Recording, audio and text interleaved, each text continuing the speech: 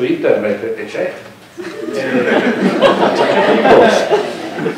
E in quel momento lui mi ha chiamato per dire allora quest'anno dico bravo, devo chiamarti io.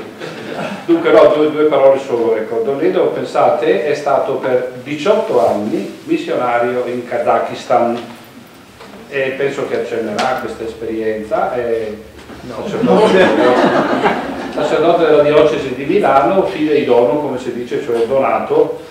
Poi non è donato, è dato in prestito. si chiama dono ma è un ecco, prestito. Quindi questa sera siamo contenti di averlo qui e tra noi è arrivato un po' eh, di corsa perché vi ha spiegato che aveva questa riunione all'Ambrosiana all e adesso noi lo ringraziamo per la sua disponibilità e diamo senz'altro inizio al nostro incontro con la preghiera che avete sul progetto.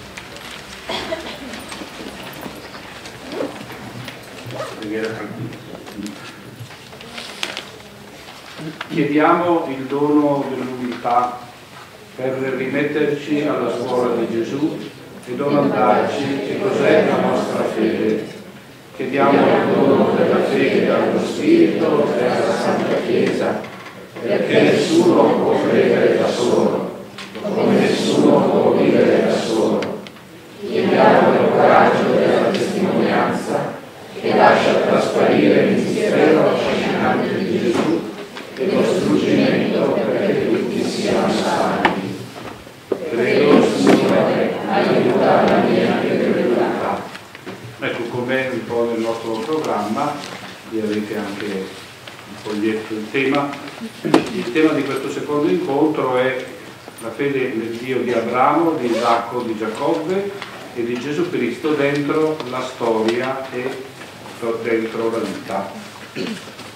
Don Edo parlerà penso 40 minuti più o meno ecco, poi, e dopo ci sarà modo di, di, di, un dialogo con il relatore. Di solito in 40, in 40 minuti faccio anche la messa con gli avvisi. Va bene, grazie e buon, buon lavoro, buona conversazione. Il tema, come avete capito, non è proprio semplicissimo, cioè,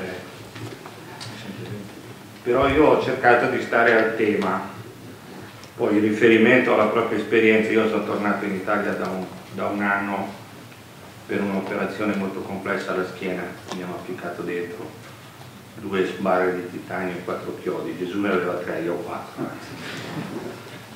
E come prova di fede diciamo che non c'è male, tanto per.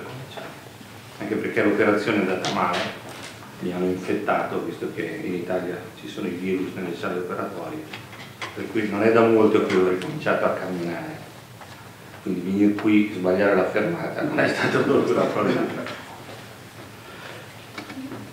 Dunque, io, quando sono il mio incarico adesso che sono tornato, che mi, addirittura mi era stato proposto da Tetta Manci, ma è stato poi pienamente confermato da, da Civescovo Scola, è quello di aprire una nuova sezione presso l'Accademia della Biblioteca Ambrosiana dedicata alla cultura e alla lingua turco-mongola, non impressionante. Eh, perché comincio con questo? Non per, per, darsi delle arie, ma per far capire che eh, la questione della fede è una cosa molto concreta. Perché dopo aver studiato diverse lingue, tra cui innanzitutto il russo, e averlo anche parlato, a un certo punto mi sono messo a studiare questa lingua che non c'entra assolutamente niente con il russo, non è come tutti dicono un dialetto russo, assolutamente. Perché stando lì ho capito che anche se il russo era la lingua veicolare, quella che parlano tutti, anche perché il periodo sovietico è stato anche un periodo di russificazione for forzata dappertutto, che ha discriminato tutte le culture e le lingue degli altri popoli, perché era un impero l'Unione Sovietica. Solo in Asia centrale ci sono più di 50 milioni di abitanti, tanto per E ho cominciato a capire che forse valeva la pena rivolgersi anche a, quella metà della popolazione, adesso un po' di più della metà della popolazione, che, che sono kazaki, perché in Kazakistan il 40% dei, degli abitanti non sono kazaki, sono quelli che sono stati deportati. Stalin era un vero democratico, ce li ha portati di tutti senza distinzione. Con il problema che la stessa appartenenza religiosa, la propria fede, visto che il tema è quello della fede, rischia di essere intesa un po' da tutti, compresi i cattolici, come il riverbero di una certa appartenenza etnica, quindi tu sei russo, quindi sei ortodosso, tu sei eh, polacco, polacco di una zona da cui hanno deportato in tanti, quindi sei cattolico, sei tedesco delle repubbliche del Volga da cui ne hanno deportati ancora di più, quindi scegli tu se vuoi essere cattolico o luterano, sei kazako, tataro, eccetera, quindi sei musulmano. Sei coreano, abbiamo 350.000 coreani deportati lì che fa quello che vuole che tanto non ce ne frega, i coreani no. Questa è l'impostazione dell'affronto della questione religiosa. Ora, siccome è bello che ci sia la libertà religiosa, nel senso che c'è la possibilità di andare in chiesa, no? Non c'è l'insegnamento della religione, io ho insegnato per vent'anni all'università, avendo fatto l'abilitazione come professore di lingue. E gli ultimi sei anni anche all'Accademia diplomatica della Repubblica del Kazakistan, dove l'80% dei miei studenti erano musulmani, erano musulmani. Ma a un certo punto bisogna anche porsi il problema della libertà della fede come libertà di scelta o meglio, come libertà di aderire a una proposta, che non può derivare semplicemente dal fatto che sei nato in una certa etnia. Capisco che per noi italiani il concetto di etnia non è molto, ma nei paesi slavi, non so, avete presente la situazione dell'ex Jugoslavia, così vuol dire. E allora, per questa ragione mi sono messo a studiare questa lingua, a lavorare fino al punto di, di, scrivere il primo libro nella storia del paese per studiare lingue straniere in turco-mongolo, aiutato da un gruppo di miei studenti convertiti. E adesso stiamo facendo questo lavoro che continuerà anche nell'Ambrosiana di traduzione dei concetti cristiani, non parlo della Bibbia, dei concetti cristiani, in queste lingue che sono questa lingua turco-mongola che è parlata dall'Afghanistan, il Pashtun è una lingua turco-mongola, fino al Turkmenistan, passando anche attraverso il Dagestan, il Tatarstan, cioè alcuni paesi che fanno parte della federazione russa e che parlano questa lingua. Lingue che oggi vengono recuperate e che addirittura diventano lingue di Stato. E questo è perché Cristo arrivi a tutti. Parto da questa piccola esperienza personale perché se, se, quando cominciamo a parlare della fede, che sia di Abramo, che sia di Isacco, che sia la sua la, o la mia la stessa, o uno parte da, dalla domanda su di sé, perché cosa vale la pena vivere, e quindi a chi affidarsi, di chi fidarsi, no? oppure, oppure, è un gioco intellettuale che il risico è meglio, anche se a me non piace giocare a risico, però per dire. E questa è anche la storia che parte da Abramo, siccome mi, è stato detto Abramo, eh, vediamo cosa c'entra Abramo. Ora, io spiego sempre ai miei studenti, perché ho, ho posto come condizione di accettare questo lavoro che io non avrei mai chiesto all'Ambrosiana, di poter comunque insegnare nelle scuole superiori, mi hanno dato 4 ore in un liceo classico statale e 5 in una scuola privata, cattolica, sottoposta. E io dico ai miei studenti del ginnasio, perché sto facendo all'inizio, come inizio del programma, per spiegare che cos'è il senso religioso, parto dalle religioni pre-cristiane, addirittura dai preistorici. Tutte le religioni, tutte le posizioni religiose, fino, fino ad Abramo, diciamo così, poi fino a Gesù Cristo, vedremo anche dalla questione, eh, presuppongono un'adesione presuppongono una ricerca del, del mistero ed un'adesione a questo mistero che non è la fede, è una devozione. I romani la chiamavano pietas. E Cicerone definisce questa pietas semplicemente come rispettare tutte le regole religiose che fanno parte del rituale religioso romano. Quindi fa bene tutte le, le cosette, come magari si fa anche in certe parrocchie da noi, no? Basta che fai bene le cosette. Ci credi, non ci credi, non importa. Oppure come un, nella tradizione della Mesopotamia, eccetera, visto che gli dei sono pericolosi, tenerli buoni. No, quindi sacrifici. Ma non, la, la religione non implica la fede, non implica la fede perché c'è la coscienza dell'esistenza di Dio, del mistero, ma non c'è un rapporto con Lui, c'è un rapporto estrinseco, cioè magari di, di timore, magari di devozione, ma, ma non c'è un incontro con Dio. Bene, nella storia dell'umanità, il capitolo dodicesimo della Genesi,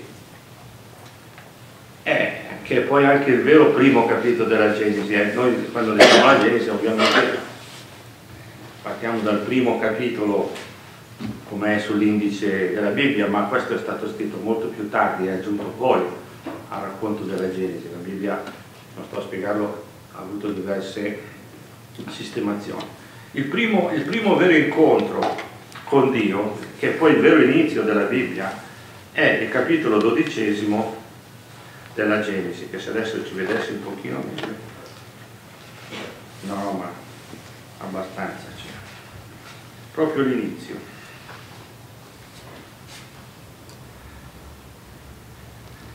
Il Signore disse ad Abramo,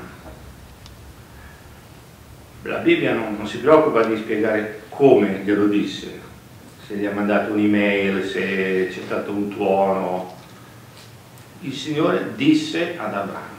La Bibbia è essenziale nelle cose.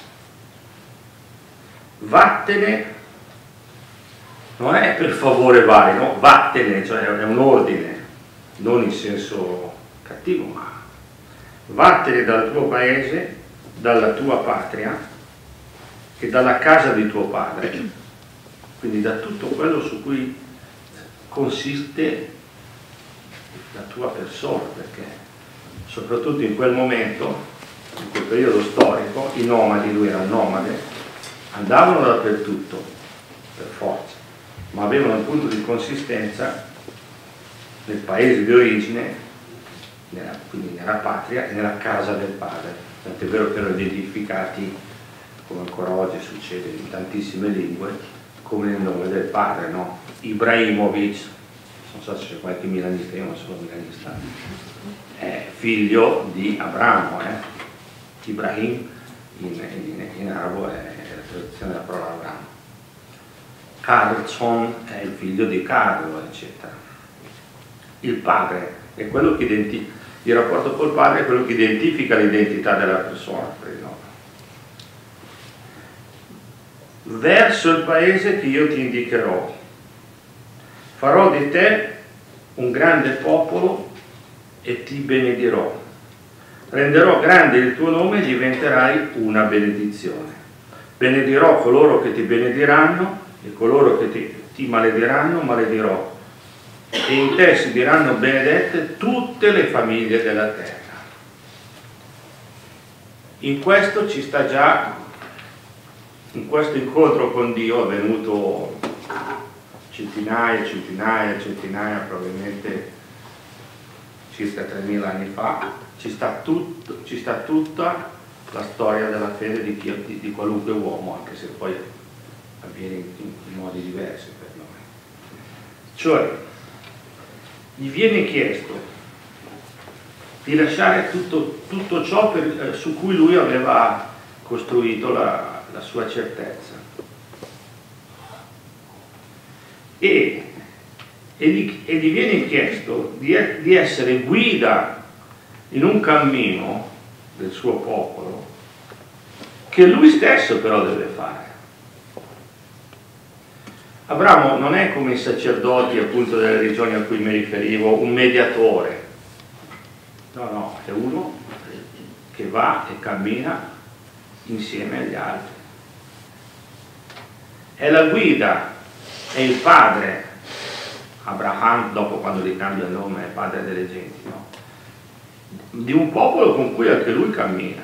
Non è uno che va a dare dei buoni consigli, dei precetti, degli ordini, è uno che cammina e che si tira dietro questo, questo popolo fatto di, eh, di, vecchi, di anziani, di bambini, di, di animali che in qualche modo facevano parte del popolo, essendo nomadi, e in cui non doveva lasciare indietro nessuno, eh, perché anche, un, anche la persona meno valida o l'animale un po' scalchignato poteva essere prezioso nella immigrazione.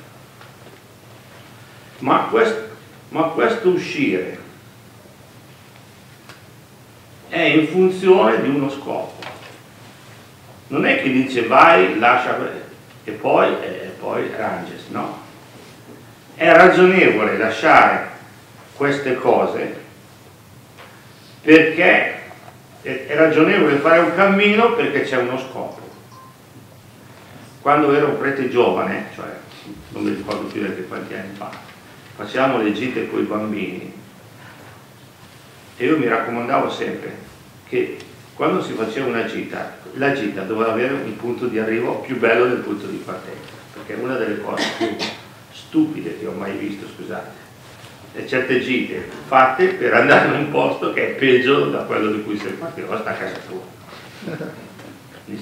Quindi il fatto anche che ci fosse qualcosa di interessante per i ragazzi, noi tra l'altro, era anche quello che giustificava il fatto che quando che a volte per fare la gita bisognava camminare, quelli cominciavano a brontolare, eh, sono stanco, sete, mi manca la mano, non so. E tu potevi avere la faccia tosta e dirgli vai, vai, cammina, perché? Perché dopo c'è, vedrai dopo. E questa è la logica della fede. Se non ci fosse la promessa, se non ci fosse, scusate, la promessa, non premessa, che poi è la promessa, eh, perché io devo fare dei sacrifici? Perché io devo... o sono masochista, ma spero che tra noi non ci sono casi patologici, o sadico se sono quello che fa soffrire gli altri, o se no, perché, ma perché mai devo, dovrei fare un sacrificio? Se non c'è uno scopo, che poi è il problema della società di oggi, no? il Papa ha detto che siamo in un clima di disertificazione, non so se avete letto quello che ha detto giovedì all'inizio dell'anno santo, ma ci sono bisogno di guide, di guide. Ma c'è anche un cammino da fare, perché infatti eh, l'umanità è bloccata per il fatto che non c'è lo scopo. Magari in un modo ingenuo i nostri genitori nel dopoguerra hanno ricostruito l'Italia, perché anche solo da un punto di vista sociale, se volete, spesso però non era solo quello, eh, avevano uno scopo per cui valeva la pena fare i sacrifici. Per cui mio padre arrivava a casa, io ero piccolo, mi ricordo solo un gran rumore perché c'aveva una bicicletta a motore, che noi la chiamavamo la terribile. Io sono nato all'isola, ma quando mio papà arriva, arrivava già a due chilometri cominciava, mamma butta la pasta, perché faceva un rumore, non so come l'aveva costruita lui eh ed era un piccolo imprenditore nel mio padre, era non operaio. Eh. E quanti sa che noi abitavamo al quarto piano, senza ascensore. C'era questa idea del dover ricominciare a vivere, questa idea, spesso anche sostenuto degli ideali, anche degli ideali contrastanti. Noi abitavamo davanti alla sede provinciale del Partito Comunista, ma c'era gente che ci credeva. E allora, dice sempre la Bibbia, Abramo partì. Anche questo è interessante, non è che Abramo davanti a questa proposta, che ripeto, è per lui, per la sua famiglia, ma per tutte le genti della terra, eh? Che la vocazione è sempre particolare, ma l'orizzonte è, è il mondo, altrimenti non è una vocazione, è uno che ha le voci, non so. Allora Abramo partì. Allora Abramo partì, non ha detto, oh che bello, mm, hai fatto un bel discorso, hai parlato bene, non si dice così adesso quando ci fanno anche il Papa, ah il Papa ha detto delle cose splendide, ho capito, poi? Ah guarda, sono stato a questo incontro proprio bello, sì, e adesso? Mi spiego. Oh, non è che uno immediatamente, non è sempre immediatamente facile capire cosa devi fare, in che modo ti, ti devi muovere, ma prima o poi bisognerà anche muoversi, no? Non basta dire che bello, oppure sono d'accordo, e poi andare avanti come prima. No, Abramo è partito, tirandosi dietro questa massa di gente che non riusciva a capire cosa gli era successo. Vai a spiegargli, compresa sua moglie, che ogni tanto si metteva a ridere delle cose che diceva Dio. Ed è partito. E credo che sappiate più o meno no, che questo cammino di Abramo è stato veramente duro, eh, ci sono state tante prove, addirittura una volta sembrava che dovesse addirittura uccidere il figlio che in un modo inaspettato gli era stato donato. E lui come è come se fosse stato immerso in un buio, però era sicuro che, che il Signore era buono, che il Signore gli voleva bene e infatti poi tra l'altro si è capito che cosa voleva il Signore. E lui ha continuato a partire e ripartire, ma mai da zero. Ecco, qui è l'altra cosa importante della fede.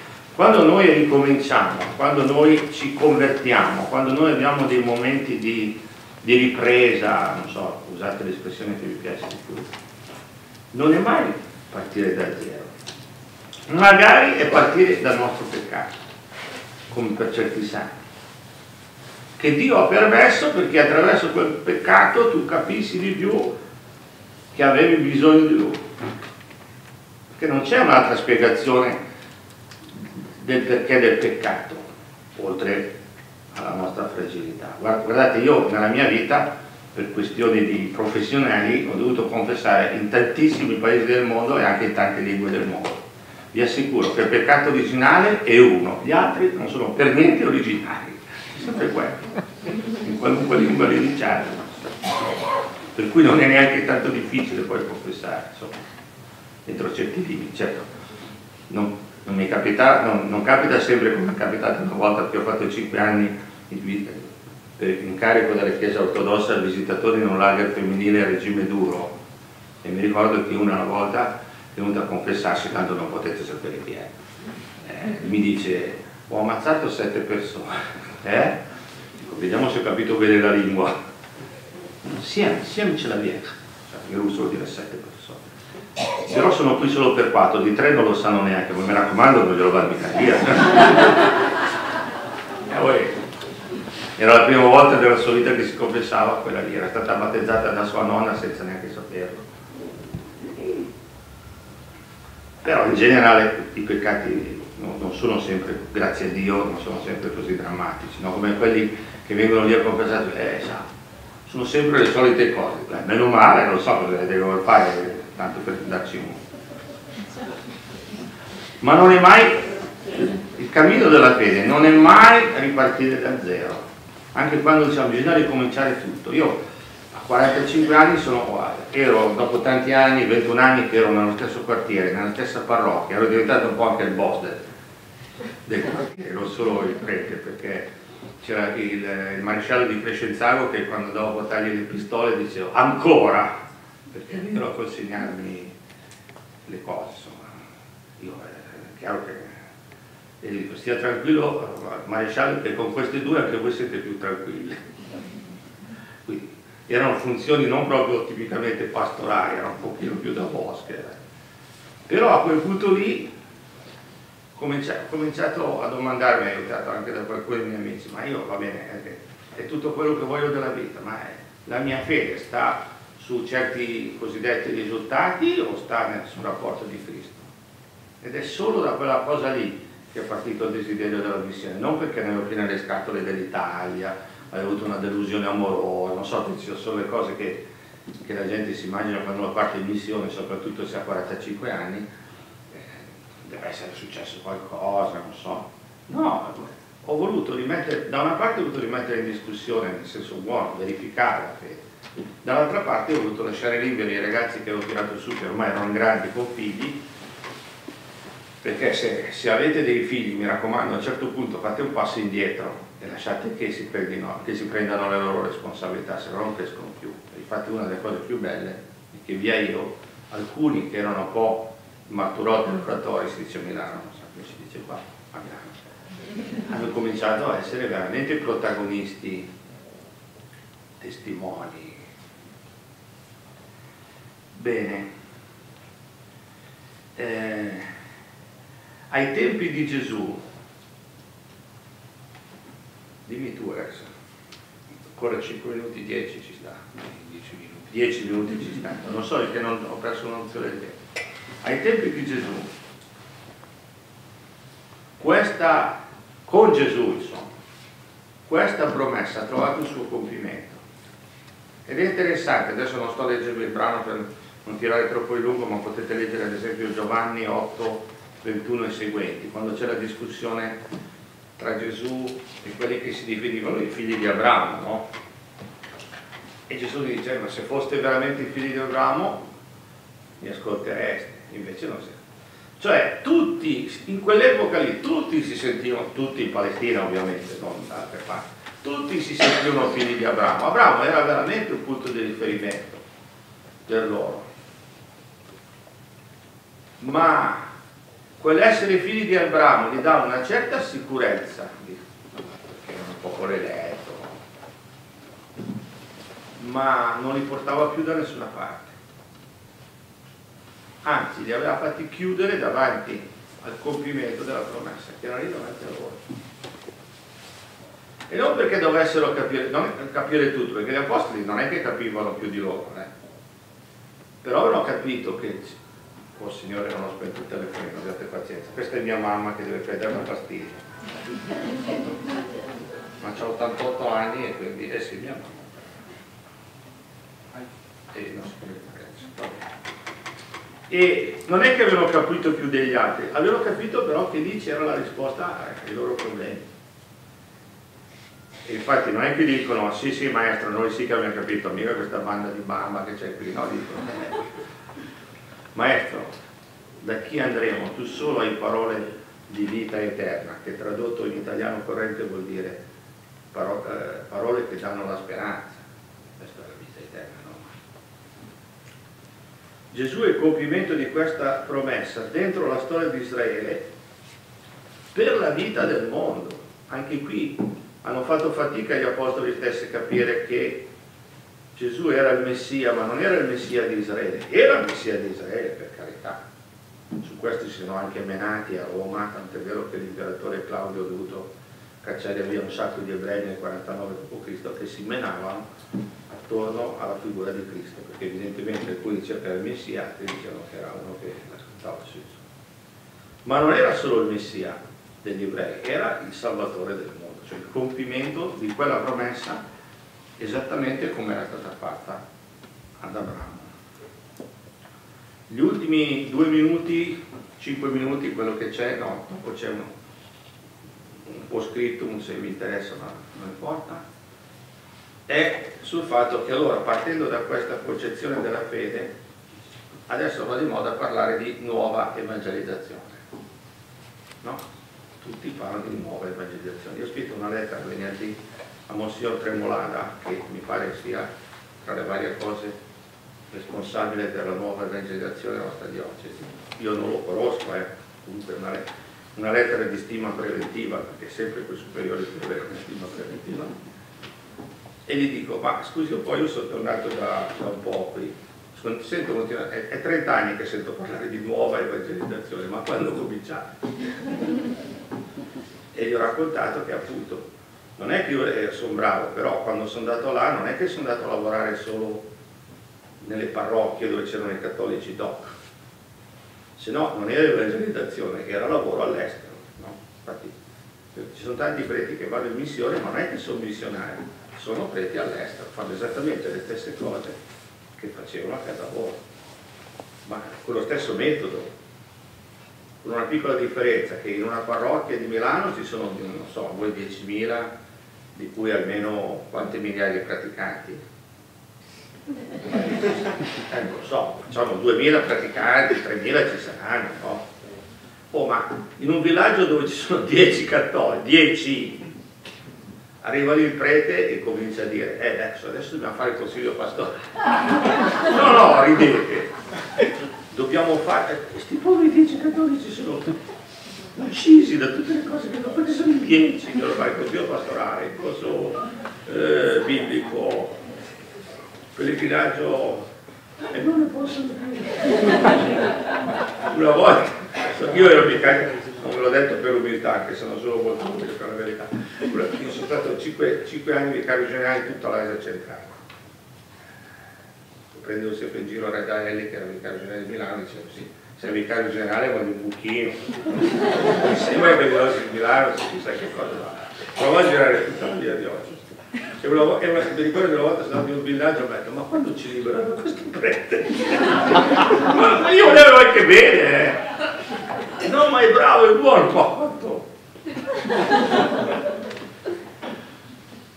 E a parte un altro che problemi di lingua, perché poi questi preti arrivano in missione e non sanno parlare la lingua.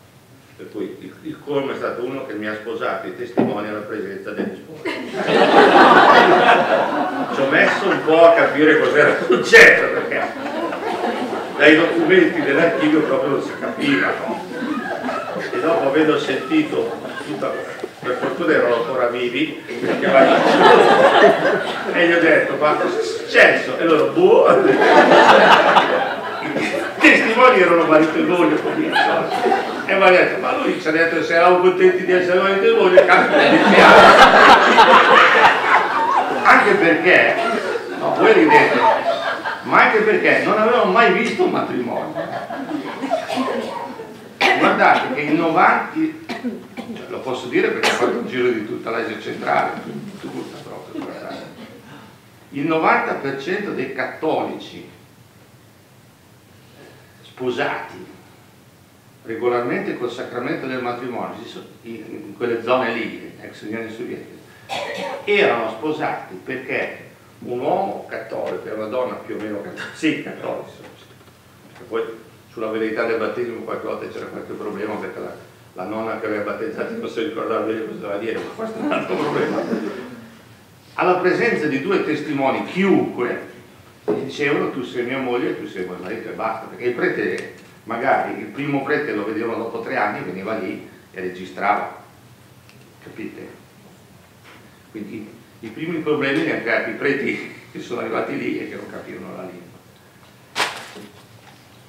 E okay, sto parlando.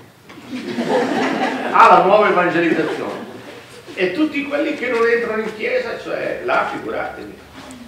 Ecco perché io ho scelto di andare a insegnare lingue all'università Ecco perché ho accettato di andare 5 anni come ospite, non come internato, nel lager a regime duro di Corso.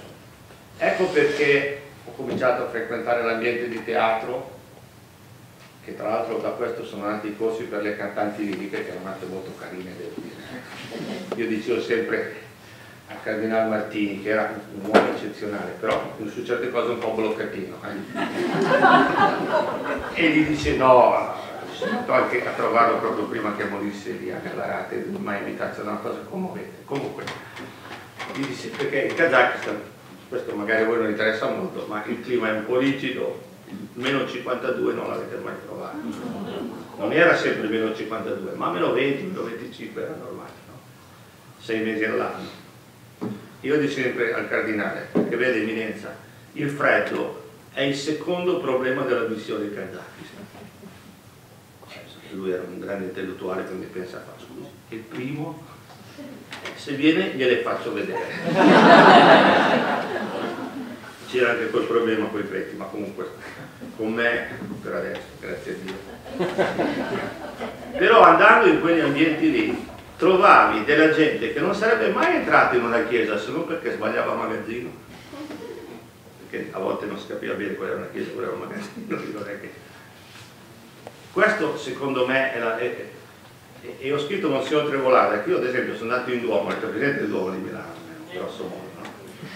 Non so se avete visto chi, chi ci entra adesso per lo più in Duomo, soprattutto turisti stranieri, molti di loro sono cinesi, io ho cominciato a studiare il cinese, ho già superato il primo esame perché ho detto qui ci sono più cinesi che terrori a Milano. Scusate, senza offesa, i cinesi. No, no, ma ci sono più cinesi a Milano, tantissimi, dovunque ci sono. E russi, quanta gente che parla russi nel senso vago, moldavi, ucraini, eccetera.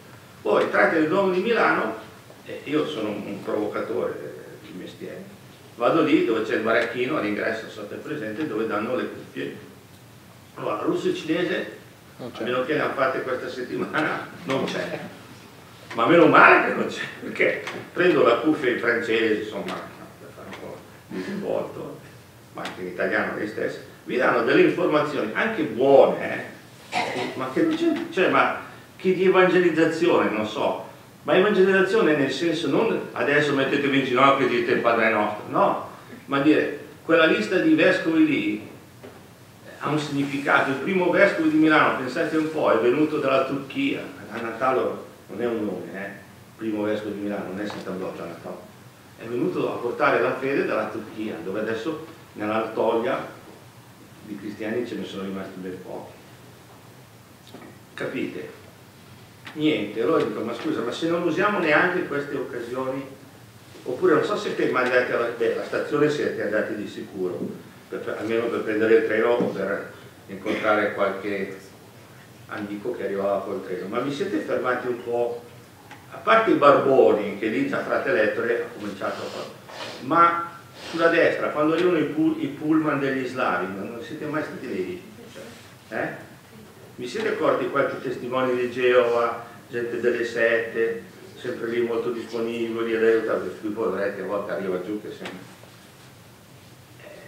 Adesso, quella forse è una tattica, non sto dicendo, capite?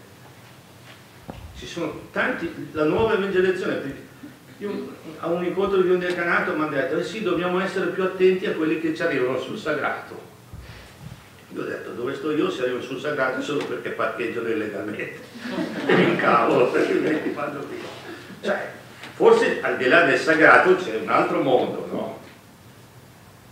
Questa è la logica, cioè la fede, quel partire, eccetera, non può avere a priori come limite dove, dove arriva il mio naso o, o, la mia sensibilità, anche se la, il mio naso e la mia sensibilità sono un elemento, una, un elemento importante perché cominciamo dalle cose che ci interessano. Io mi fermo qui, avevo preparato una cosa in più ma direi che facciamo le domande che è meglio? La cosa in più era che siccome, eh, se ci sono, se non ci sono, le faccio io così l'interno. No, era, siccome dalla mia esperienza così strana, ho fatto anche ad Almaty per sei mesi ho fatto un corso di esegesi comparata nell'università islamica perché Martini prima di mandarmi mi ha fatto studiare tutte quelle robe lì e anche lì si parla di Abramo.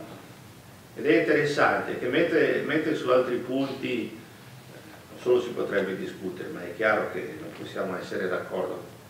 Eh, la figura di Abramo è veramente un punto di incontro eh, per le nostre tre culture, ebraica, cristiana e dopo musulmana, perché veramente anche da loro Abramo è chiamato nel, nel Corano l'amico del Dio, l'amico del Dio, voi sapete che il Corano usa sempre l'articolo, l'amico del Dio, perché Dio c'è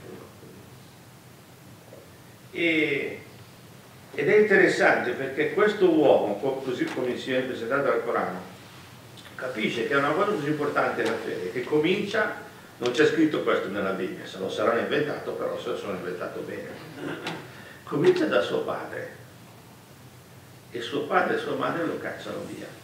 Molti dicono che questa è una specie di, di autobiografia di Maometto, perché anche lui ha avuto un po' di problemi con i suoi parenti, ce li ho avuti anch'io, ma questo non c'entra con questo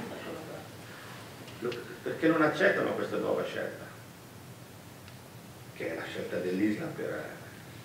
E lui, e lui prega, e lui prega, che è una cosa che tra l'altro è un po' in controcendenza anche rispetto all'impostazione generale dell'Islam, che se uno non accetta giumazzare, no? Il kafiruma, cioè i peccatori, e lui continua a pregare per i suoi genitori, perché prima o poi si convertino, perché comunque Dio Allah li tratti con misericordia.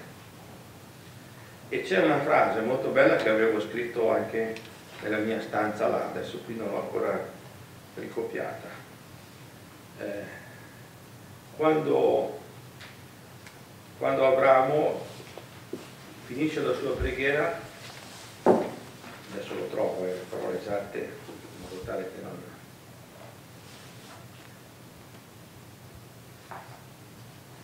eh, nella sura 36, tanto non ce l'avete ancora, no, se ce l'avete andate a controllare.